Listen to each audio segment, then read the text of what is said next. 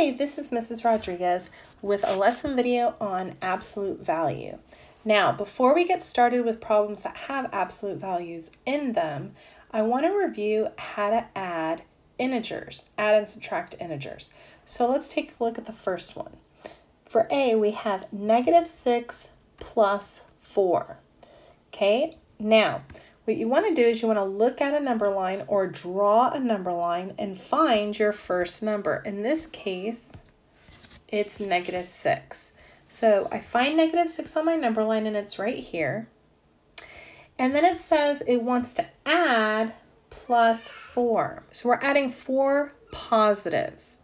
Now on our number line, you'll notice the positive numbers are on the right-hand side. So that means positives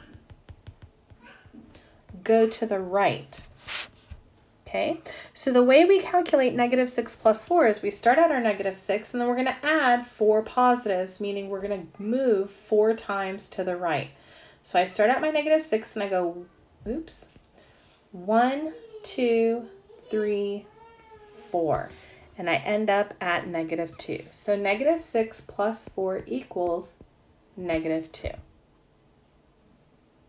Okay. Let's look at the second example. For the second example, we have a positive 3 plus a negative 8. So I'm going to go ahead and choose a new color. So we're going to start with positive 3. So on my number line, positive 3 is over here. And it wants us to add 8 negatives to it. Well, you'll notice on the number line, your negatives are on the left-hand side. So that means negatives go to the left.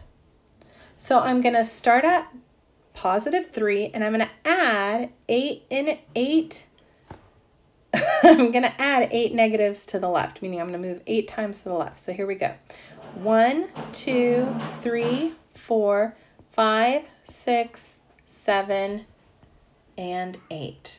And I end up at negative 5. So positive 3 plus 8 negatives, meaning plus going to the left eight times equals negative 5. Okay, now that we've reviewed how to add and subtract integers, let's go ahead and look at our first problem with absolute value. So, solve negative 7 plus the absolute value of negative 4. All right, there's a couple of things we need to remember. The first thing we need to remember is these bars here mean absolute value. Okay? And because it's absolute value, we know that that absolute value of negative 4 is actually equal to 4 because absolute value means the distance from the origin, and don't forget zero is our origin,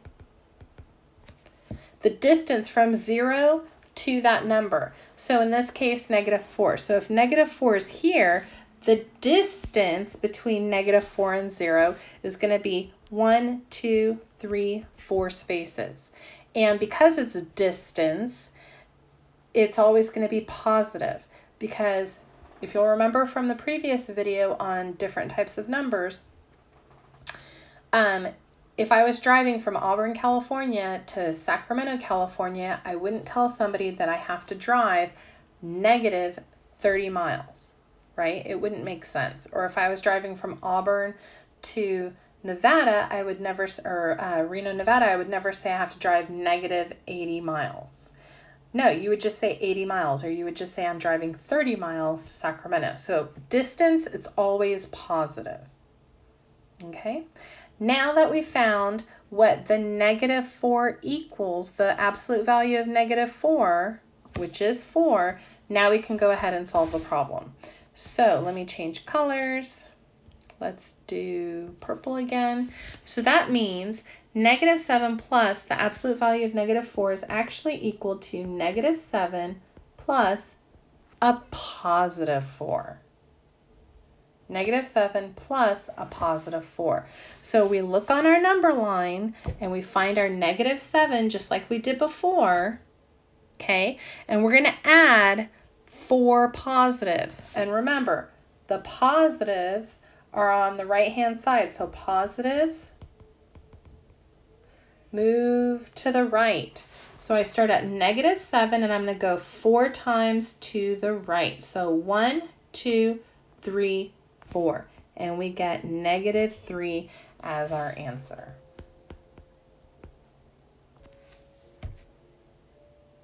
Okay. Another example of a type of problem that you will see is what is the distance between the numbers 1 and 6? So before we were looking at absolute value as the distance from the origin. In this case, we don't have an absolute value, but it's still asking for distance. Let me go ahead and highlight that. It's still asking for distance, okay? So automatically we know, let me go ahead and change colors, that distance is always positive. So I know it's going to be a positive answer. And they want to know the distance between 1, positive 1, and positive 6. So that distance means how many spaces are between the two. How far apart are they? And if I were to count the spaces, it would be one, two, three, four, five spaces apart. So the distance would equal 5. Okay, let's look at E. Our last and final example. E says evaluate the following, negative 8 plus 9.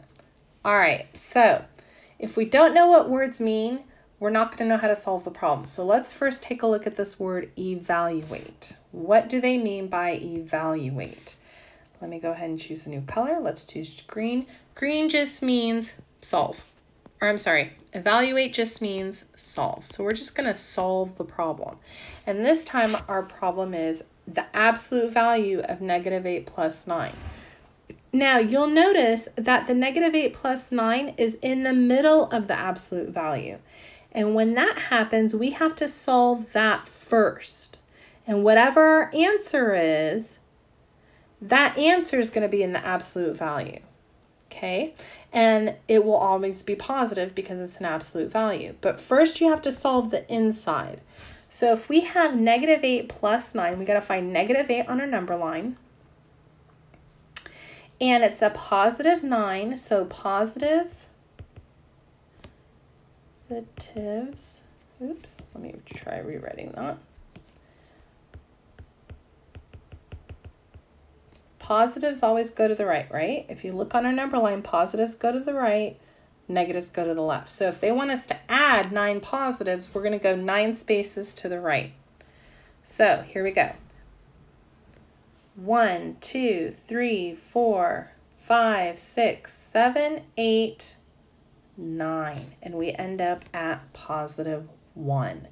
So the inside equals positive 1. So that means this is going to be the absolute value of 1.